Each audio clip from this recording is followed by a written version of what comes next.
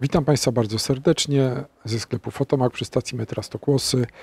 Y, spotykamy się dzisiaj po to, żeby porozmawiać o naszej nowej książce z takiej serii Małe książki y, o wielkich sprawach.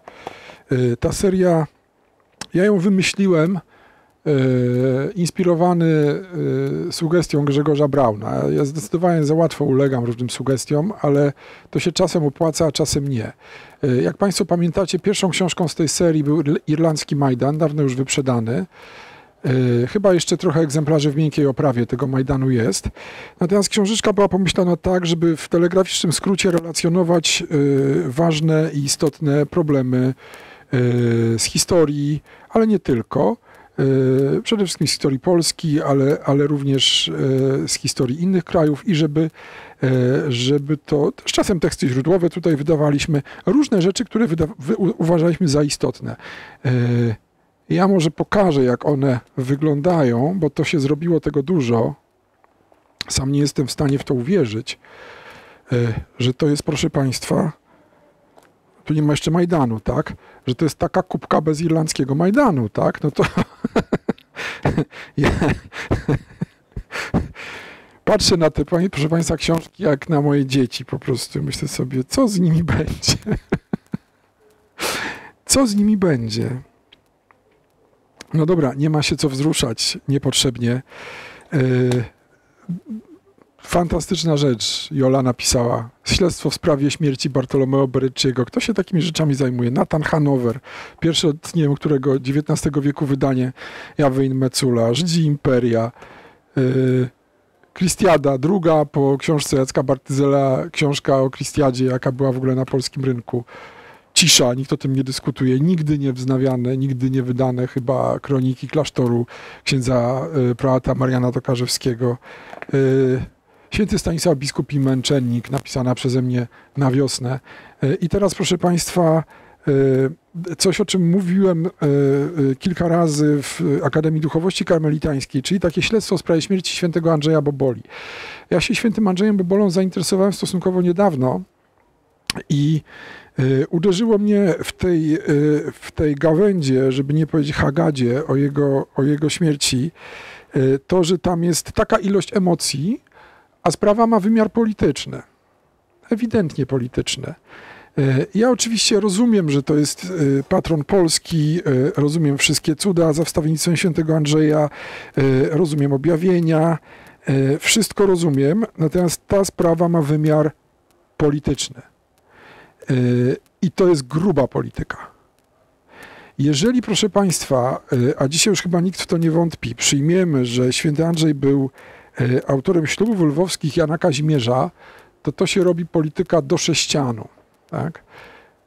Człowiek napisał śluby lwowskie dla króla, a następnie został zamordowany e, przez ekipę, e, która nie przybyła w okolice Janowa Poleskiego i Pińska przypadkiem, jak to się wydaje niektórym. Tak? Była wojna i oni się tam gdzieś zaplątali, ci kozacy, dzicy, spoceni i ktoś im wskazał bobole, to go w okrutny sposób zamordowali.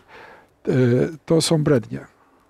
Powiem wprost, żeby e, nie, nie czarować tutaj, nie przedłużać i, nie, nie, i zabić ostatnie nadzieje e, ludzi bardzo rozemocjonowanych, proszę Państwa. Andrzej Bobola został zamordowany w wyniku intrygi politycznej. Opisuję to tutaj. Andrzej Bobola, śmierć Andrzeja Boboli jest prostym przełożeniem wyprawy jaką y, książę Siedmiogrodu, Jerzy II Rakoczy przedsięwziął y, w, roku 1000, w styczniu roku 1657 do Polski i na Litwę. Po co on tam poszedł? Bo obiecano mu koronę polską w czasie rokowań rozbiorowych w Radnot.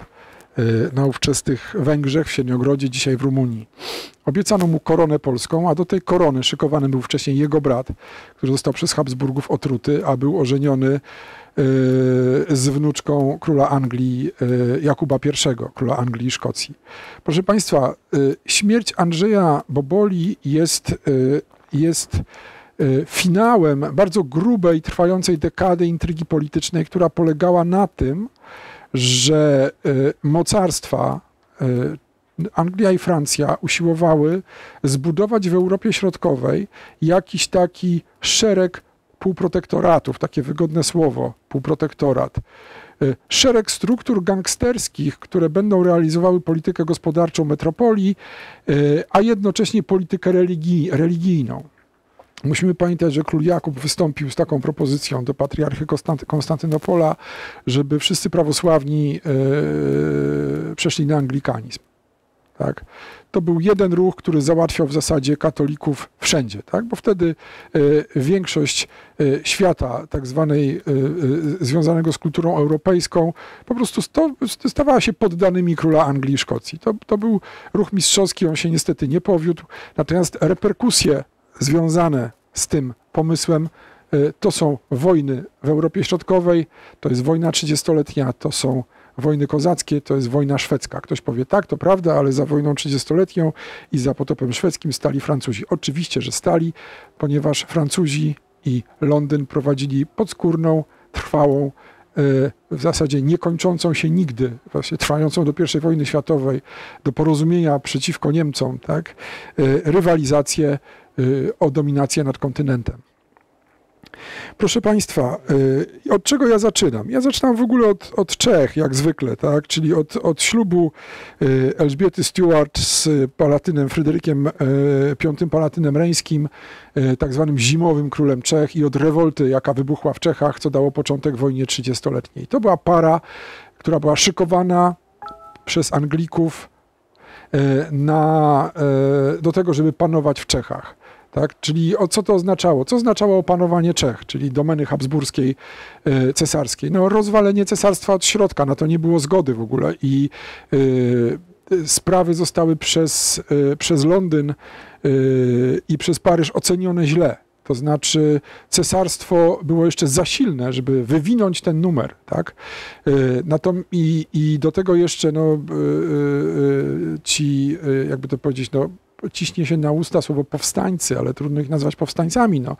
E, była to regularna armia, tak? czyli Stany czeskie e, wyruszyły, wyruszyły na wojnę i nie potrafiły tej wojny doprowadzić do końca. Musimy przypomnieć, że Czesi oblegali Wiedeń i cesarz był w wielkim niebezpieczeństwie, a Wiedeń został uratowany e, dzięki Lisowczykom. To była pierwsza bitwa, pierwsza odsiecz Wiednia, czyli bitwa pod Humiennem kiedy wojsko pana Lisowskiego przekroczyło granicę węgierską i zablokowało maszerujące e, na, e, e, na Wiedeń wojska siedmiogrodzkie, tak, pokonujących w bitwie pod Kumieniem. To są czasy hen, hen odległe przed śmiercią, przed śmiercią świętego Andrzeja Boboli, ale ja od tego zaczynam, proszę Państwa, dlatego, że od tego się zaczyna ta prawdziwa historia, której finałem jest śmierć, śmierć świętego Andrzeja. Kojanowa Poleskiego, e, e, schwytanego, a zamordowanego w Janowie Polskim w tamtejszej kuźni. Proszę Państwa, e, to się zaczyna od wybuchu wojny 30-letniej, a potem ciągnie się poprzez szereg mariaży, tajnych układów, prób wymuszenia, prób rozbioru wielkich królestw, tak? prób rozbicia cesarstwa, tak? a to się wiąże oczywiście z likwidacją, z likwidacją kościoła tych wszystkich działań, które szły w kontrze do kontreformacji, do, do misji jezuickiej na wschodzie i które ojcowie jezuici okupowali, ciężko własną krwią. E, nie będę zdradzał szczegółów. W każdym razie mm, y, musicie sobie Państwo zdawać y, sprawę z tego, że y, te wypadki w Janowie Poleskim, które zakończyły się męczeńską śmiercią Andrzeja Boboli, e, to jest tylko wierzchołek góry lodowej. Armii Siedmiogrodzkiej, a jeszcze taka ciekawostka, kiedy, kiedy szukałem, szukałem ilustracji do, do, wkładki, y, do wkładki zdjęciowej, która tu jest na, na końcu, bardzo dziękuję y, panu Waldemarowi ze Zgorzelca, który, chyba ze Zgorzelca, który mi y, udzielił fotografii autentycznych z, z okolic Janowa Polskiego, które się w tej książce znajdują. Proszę Państwa, e, znalazłem, e, tutaj tego nie ma, e, portret Jerzego II Rakoczego, taką grafikę Miedzioryt wykonany ręką Rembrandta. No więc proszę Państwa, jeżeli jest wielka polityka, to jest też wielka propaganda. Wielką propagandę mogą robić tylko wybitni artyści. No więc my myślimy o Jerzym II Rakoczym jako o jakimś nieistotnym, nieistotnym e, władcy gdzieś e, z peryferii Europy, a tu proszę, Rembrandt wykonał wykonał jego portret. E, no, e, wykonał też e, wizerunek jeźdźca polskiego, tak, czyli Lisowczyka, więc jakaś dokumentacja do tych wypadków, które rozgrywały się w Europie Środkowej była. Być może historycy sztuki interpretują to, interpretują to inaczej niż ja, no, ale, ale była i była i jest rozpoznawalna. E, proszę Państwa, e, Jerzemu Rakoczemu w jego drodze na Litwę towarzyszył e, król Szwecji Karol X Gustaw, którego pozycja słabła może nie z godziny na godzinę, ale z dnia na dzień, dlatego że cesarstwo, które wyszło okropnie poturbowane z wojny 30-letniej, rozpoczęło szeroką akcję polityczną, która miała wyeliminować Szwedów z gry. E, wtedy się jeszcze nie udało. Ten e, e, numer, przepraszam za wyrażenie, dopiero, dopiero został przeprowadzony na początku XVIII wieku, kiedy to, kiedy to bitwa pod Połtawą uczyniła ze Szwedów widza, a nie uczestnika politycznej, politycznego spektaklu w Europie. Natomiast no, w XVII wieku jeszcze się to nie udało. Ale w roku 1657 wiosną, kiedy zamordowany został święty Andrzej, Szwedzi e, już nie mają czego szukać w Rzeczpospolitej, ale są zawarte układy e, dotyczące rozbioru i niektórzy w te układy wierzą. Wierzy w nie Jerzy II Rakoczy i wierzą w nie kozacy. Kozacy, których nie było w Radnot, ale którzy mieli swoje obiecane i którzy zaczynają towarzyszyć armii szwedzko-siedmiogrodzkiej połączonej w obozie pod Modliborzycami. Ciekawe miejsce, miałem kolegów stamtąd w szkole z samych Modliborzyc, nie, ale z Zaklikowa. E, e, I wędruje ta armia na północ, e, cały czas chroniona przez oddziały kozackie. Oddziały kozackie, proszę Państwa, to nie są byle jakie oddziały. To są poważni wojownicy. To są ludzie e, bardzo dobrze wyszkoleni, zdolni w zasadzie do wszystkiego. Ludzie, którzy e, e, nie są bynajmniej głupi ani dzicy, bo kończyli szkoły wyższe w Kijowie, tak, Akademię Piotra Mochyły. To są ludzie, którzy bywali za granicą, co nie znaczy, że oni nie są okrutni, bezwzględni zdolni do wszystkiego. Prowadzi ich, proszę Państwa, Anton Zdanowicz bardzo ciekawa postać, która się pojawia w późnych relacjach, y, w relacjach tych świadków, które spisywali ojcowie jezuici już w XVIII wieku, tych wszystkich dziaduniów, którzy tam byli w Janowie Polskim i jako młodzi ludzie bardzo, y, bardzo młodzi ludzie obserwowali śmierć i męczeństwo świętego Andrzeja. Y, ludzie ci wspominają Antona Zdanowicza. My nie musimy się zdawać tylko na ich relacje, bo my akurat wiemy dobrze, kim był Anton Zdanowicz. Był to bardzo poważny człowiek i dyplomata, którego Chmielnicki wysyłał w różne miejsca pod różnymi pretekstami. E, to jest rok 1657, rok śmierci Chmielnickiego. Chmielnicki umarł na początku sierpnia, Anton Zdanowicz w maju był pod Brześciem. I proszę Państwa, w momencie, kiedy armia siedmiogrodzka i szwedzka zabiera się za oblężenie Brześcia, Anton Zdanowicz znika. To ponoć tak zirytowało i wprawiło w takie drżenie Bogdana Chmielnickiego, któremu natychmiast o tym doniesiono, że przyczyniło się do jego śmierci. Co zrobił Anton Zdanowicz? Anton Zdanowicz, proszę Państwa, pojechał w kierunku Moskwy. Pojechał w kierunku Moskwy e, poczynić jakieś ustalenia z e, dowodzącymi armią rosyjską stojącą na Litwie. To się zakończyło, proszę Państwa, wkroczeniem wspólnym wojsk moskiewskich i kozackich do Pińska i oderwaniem tych wojsk kozackich od armii siedmiogrodzkiej i armii szwedzkiej stojącej pod pod Brześciem. Jaki to miało wymiar polityczny? Y, no taki, że kozacy przestali liczyć na Szwedów i przestali liczyć na Węgrów w tym bezbożnym dziele podziału Rzeczpospolitej i zaczęli szukać jakichś innych sił. Oczywiście Chmielnicki dogadał się z Moskwą wcześniej, ale Anton Zdanowicz zaczął szukać tego porozumienia, jakby to powiedzieć, w dostępnym sobie wymiarze, prawda, który niekoniecznie zgadzał się E, z aktualnymi pomysłami Bogdana. E, to było dość zaskakujące, a efektem tego porozumienia była śmierć świętego Andrzeja. Ja taką hipotezę postawiłem, że święty Andrzej nie znajdował się, proszę Państwa, wtedy w terenie, dlatego że on prowadził jakąś akcję misyjną, że on chrzcił dzieci, udzielał ślubów i wędrował jak ten, jak ten Boży biedaczyna po coś, tak, prawda?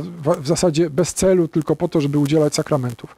Jestem przekonany, że on wyruszył do Brześcia, że on wyruszył do Brześcia po to, żeby się dogadać z tą potencją, e, która e, aktualnie wydawała mu się bardziej skłonna do kompromisu.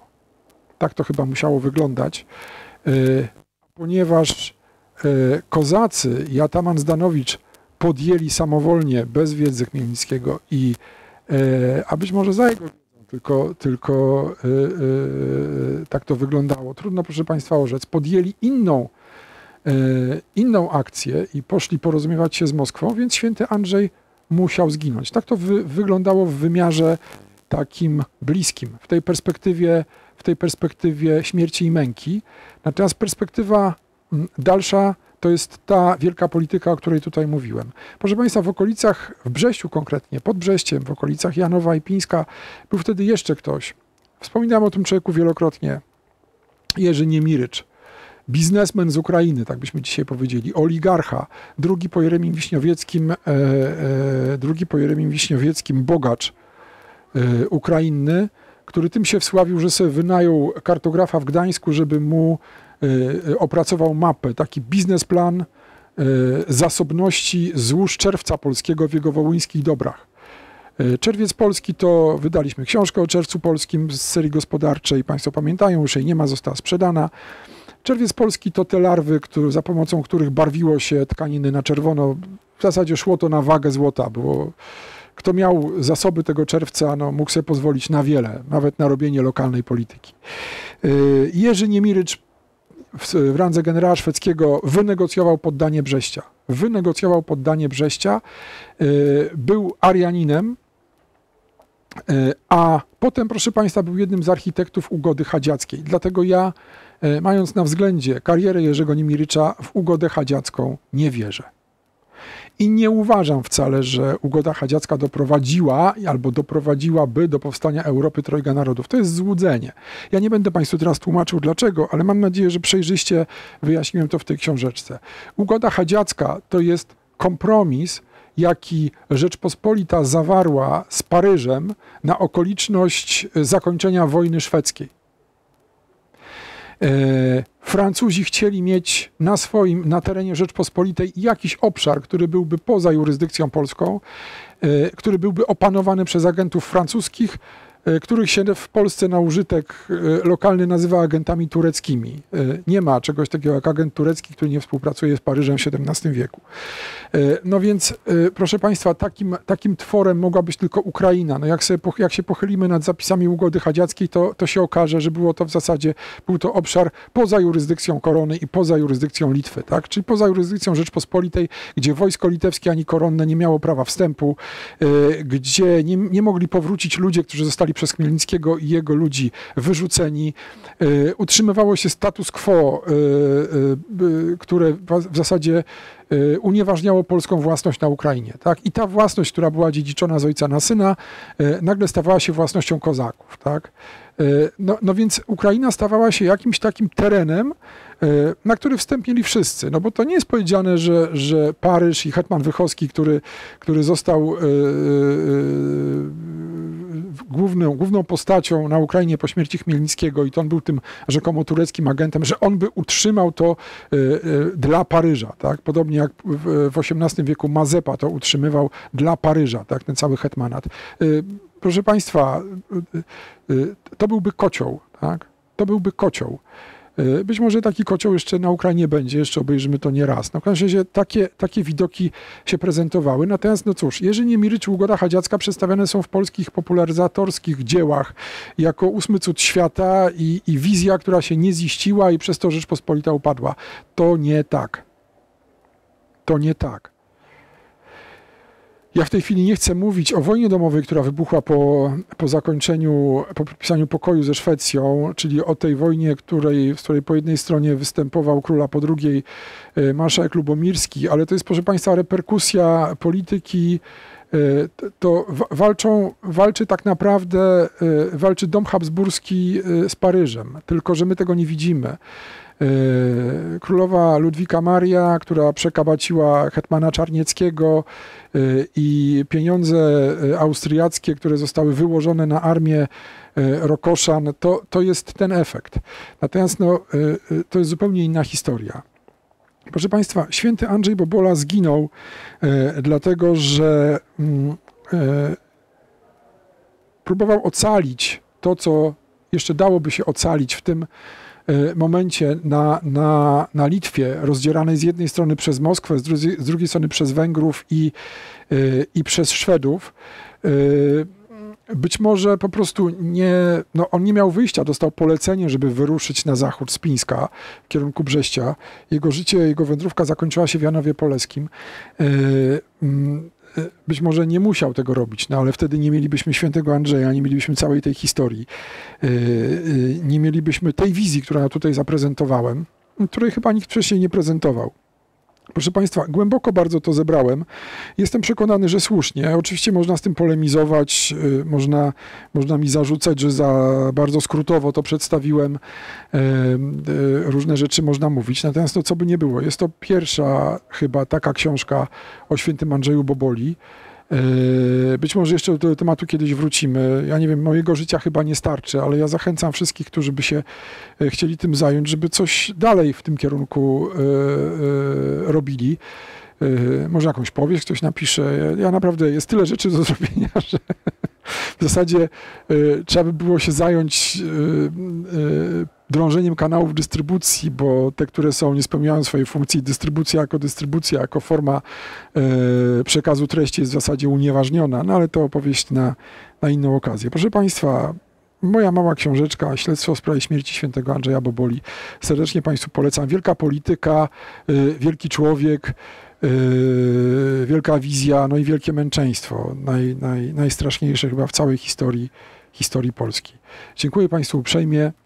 E, na dzisiaj to tyle. Do widzenia, do usłyszenia.